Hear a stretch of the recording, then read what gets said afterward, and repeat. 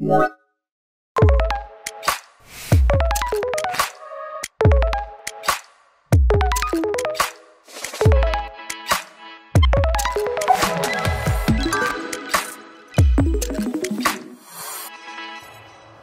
developing a game, the mechanics by which the player interacts with the game are vital in keeping them engaged and responsive.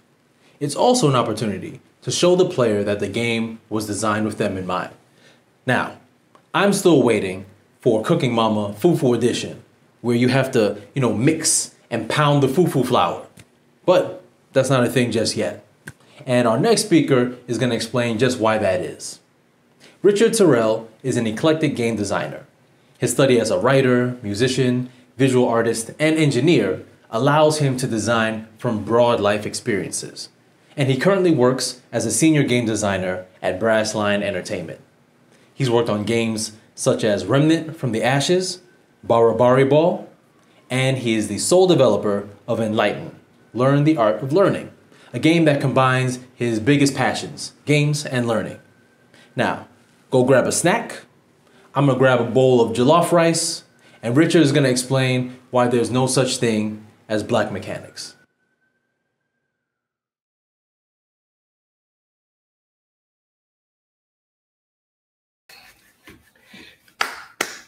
Why there's no such thing as black mechanics.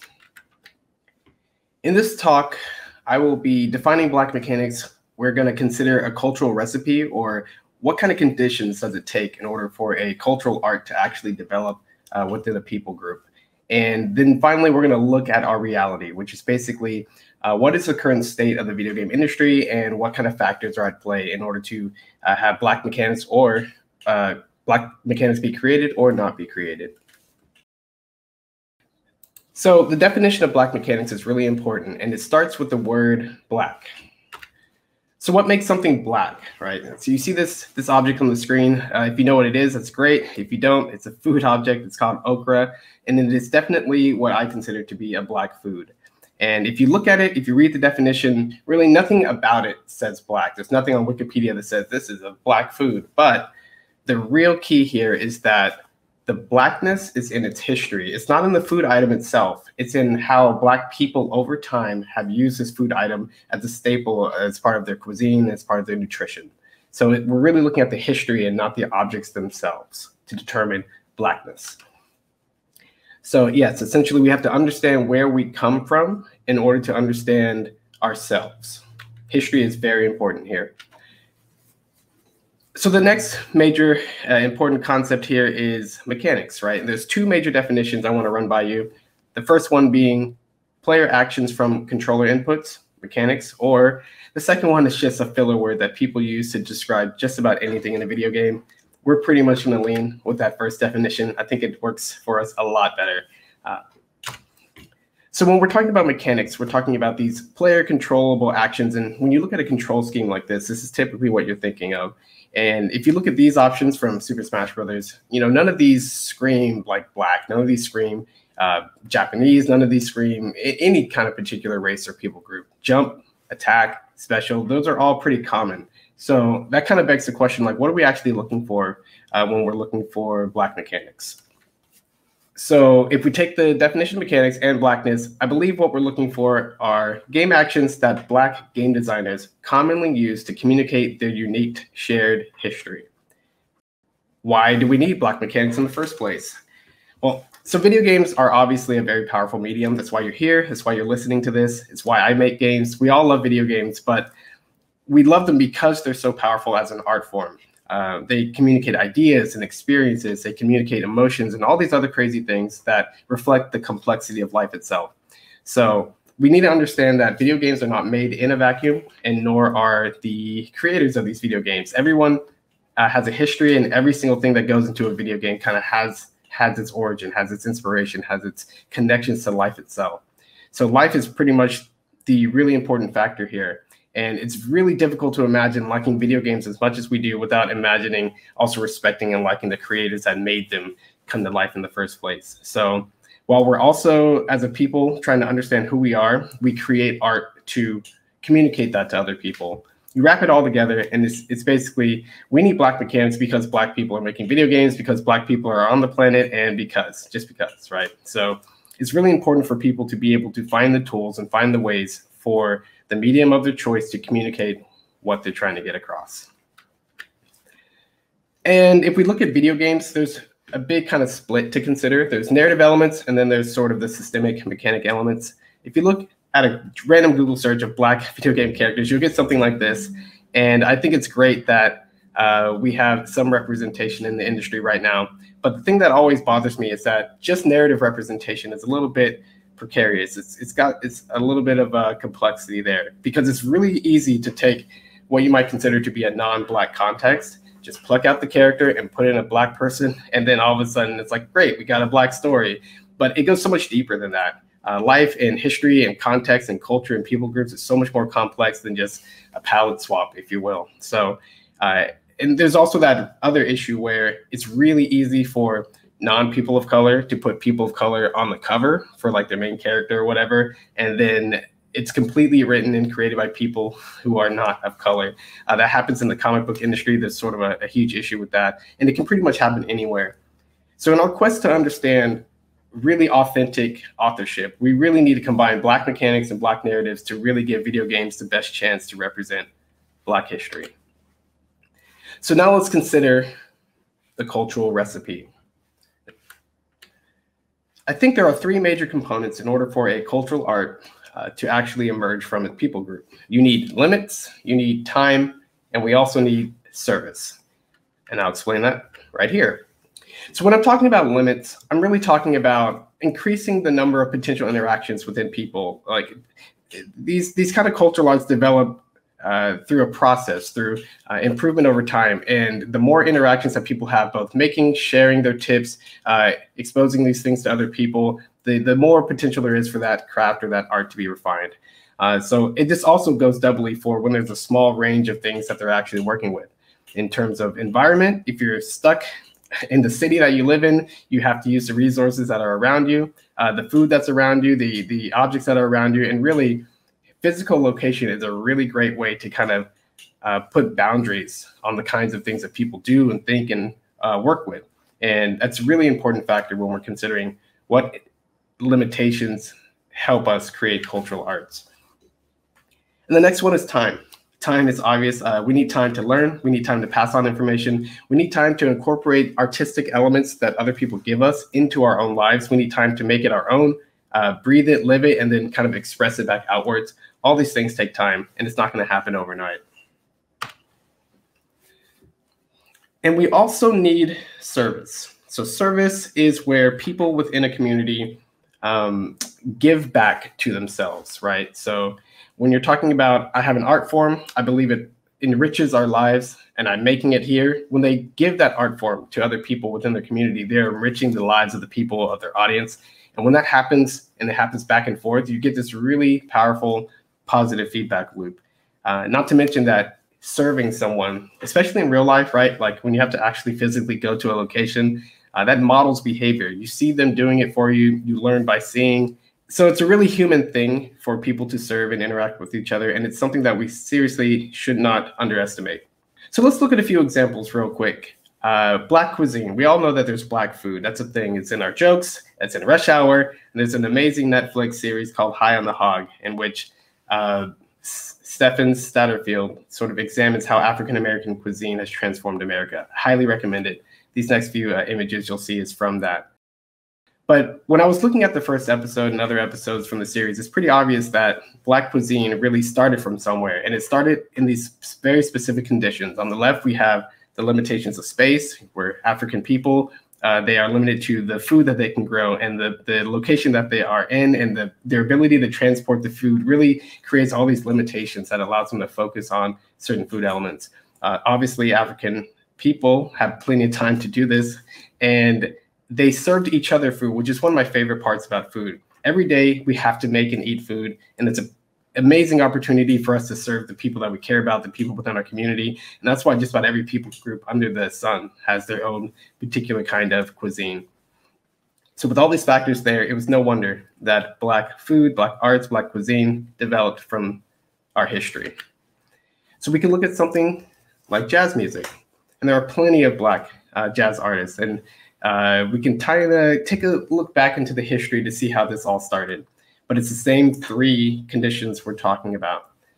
We have limitations of space. Jazz really started in New Orleans, and not just in the city, but in the red light district, where it was just a couple of blocks and 24-hour uh, activity in the brothels and so on. And musicians were just playing nonstop, right? So you got your limitation of space, where you got a lot of musical talent all in one place you give them about 20 years in the red light district before it shut down with all that concentrated activity. And then you consider that the very act of being a musician, uh, going up on stage, performing for other people, uh, entertainment, which you know, it's it's very much life affirming. It's very much life enriching when we listen to music and socialize and dance. So this is very much something that's sort of an important part of uh, our well-being. So they serve each other as musicians, both playing improvisationally and to their audience. And people like James Reese Europe, who fought in the war.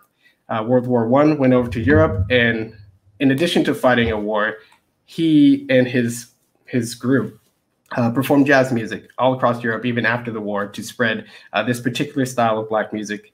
And since then, you know, jazz has exploded. It's a worldwide thing now, and it all happened with this very particular kind of uh, starting conditions. And our last example is going to be the DAP, or the Black Handshake you probably all seen an example of this somewhere uh, or another. It's on our TV shows, it's in our movies, it's on the streets. Uh, it's just something that's really interesting and obvious to observe. So it's interesting to think that even the DAP has its history sort of deep embedded into uh, this particular kind of recipe. So in the Vietnam War, uh, black soldiers were sent overseas to fight, and there weren't a lot of black soldiers comparatively to anybody else. You know, we're a minority. That's usually how it is. Uh, so being in a foreign country and fighting in the war and being in this sort of perilous situation, these soldiers had to find a way to survive. And one way that they did is through solidarity and, and camaraderie with each other.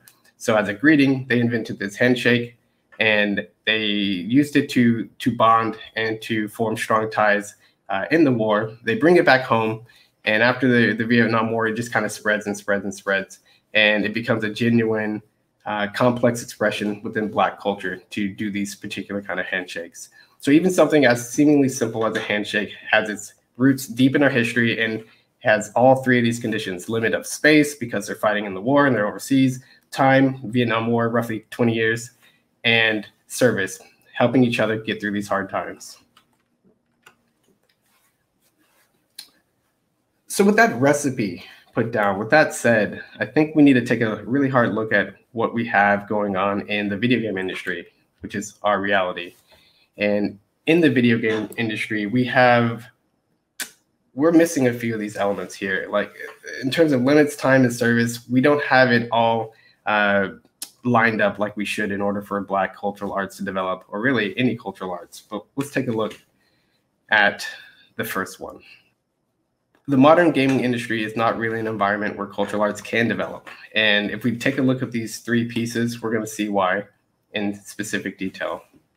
For some who make video games in the industry, there's too many limitations. So when I'm thinking about this, I'm thinking, okay, professional developers, uh, they are in sort of a walled garden. And while there's a lot of talent and a lot of interesting things going on within the company, uh, their limitation is pretty much fixed to a single project. So in all the other cases, when we had multiple musicians, multiple uh, chefs, multiple cooks. They were all multiple individual people working on different kinds of projects and intermingling constantly every day, multiple times a day. But when you're talking about a video game, the singular project that's made over the course of multiple years doesn't get that same kind of back and forth and that interaction with everything else. So really a professional game studio environment is too strict. But on the other hand, indie devs are probably too too uh, loose, too open. There's too many options. Uh, they are free to make games for any hardware they want, in any style they want, on any genre they want, for any platform. They're free to team up or make break and make teams all they want in order to get their game uh, finished from start uh, to finish. And sometimes I feel like with the way that the internet is going, that allows people to be anywhere, join dozens of communities, follow thousands of developers, watch hundreds of videos, but basically belong in nowhere in particular, right? The internet connects you to just about everyone else in the world, but at the same time, it sort of it sort of smooths out a lot of these sort of uh, groupings and cultural differences that might form from stronger limitations. There's not enough time. There's just not enough time in our industry. Our industry is relatively young. It started uh, roughly, you know, 50 years ago, 50, 75 years ago, and even some of the people in our industry now uh, were kind of there in the beginning. So we haven't really had those huge generational turnovers yet. Uh, but more specifically, it takes many, many years to make a video game. And when we're talking about the kind of concentrated environment that you need creative back and forth, if it takes years to just say, hey, I like that thing, let me give you a remix on it, or let me twist it a little way, like years, then there really is no effective creative back and forth. We're just these separate individual creative efforts that kind of pop up and then enter the market, not really a conversation. Um, and on the flip side, games take way too many hours to play. So even if somebody did try to say, hey, I made this game in direct response, what do you think about it? Are you going to have time to put in 10, 20, 50, 100 hours to play these things? And then there's just so many games in the industry. It really starts to work against us because of the, uh, the medium itself. And this final one, no service. In our current industry, there's a lot of factors that I consider to work against our ability to serve each other. And some of them include that game design as an art is not really well taught in the industry. It's fairly underrepresented in our universities, and even game studies in universities is underrepresented across many universities in the US. Our discourse, the way we talk about games, the language that we use, it's scattered, it's confused, it's weak. Uh, we don't really have an effective shared language to really talk about some specific, deep, precise, nuanced things about games. It's, our conversation is really just shallow overall. Um, companies themselves have NDAs and other restrictions that prevent people from talking about how games are made or what they were thinking. It's really hard to figure out who did what in a game in terms of credits or creative attribution, uh, especially considering games are made over such a long period of time and that their actual process is so uh, complex, uh, improvisational, even that it's hard to pinpoint that and games are so complex anyway, it's just really hard to help each other. If one developer is working on uh, balancing frame data in a fighting game and another developer is working on an MMO with their netcode, they really don't have anything to share with each other. And considering how vast and complex games are, that's an issue in itself. So if this is the current state of our industry, this image that you see here, then the situation is even more limited for Black designers black designers in the game industry make up about two to six percent of the video game industry, and there are various stats and various reportings on this, but really the numbers aren't good. So for any situation that might be, you know, difficult to form in terms of the industry as a whole, black people have virtually no chance to to have those three elements of the recipe uh, create the kind of environment that they can actually create these cultural expressive uh, mechanics reflective of their own personal histories so the video game industry is missing these key elements. And the medium itself and the technology wave that we ride, everything about what video games are, it kind of resists fixing this problem. We're not trending closer together. Uh, Twitter and social media and everything is just showing that we're moving further and further away and being a little bit more disconnected and a little bit less uh, grounded and, and intentional. Then that is why there's no such thing as black mechanics. Yet. So consider this. I'm the younger brother, so I have lived my entire life uh, with my brother, and we have been playing video games since I was three years old. And we've been a team ever since. We've been talking about video games, making video games, playing video games, just about everything. And this is an interesting case to consider because we have been this sort of force, this this team that have stayed within these boundaries for my entire life. I'm 34 years old now. Uh, so we've had the time factor, we have the limitation factor. And when you consider that when we started making games, we just really made them for each other. Whether it's just this funny idea, like what if we took Makoto from Street Fighter and put her in Mega Man 9, right? And have her play with her punches and kicks in the game where you normally shoot. Whether we created these weird games on the side that test our ability, our different skills in various aspects or my latest project, Enlighten, which I've created a game and I wanted to share my love for puzzle games with my brother and my friends. And I wanted to say, like, hey, by playing this game, I think I'm going to get across this this why I love puzzle games so much. And if you play it, maybe you can get a lot closer to understanding where I'm coming from. We, we made these games for each other, and very much this fulfills the service sort of requirement. And when we're talking about that recipe for creating a cultural art.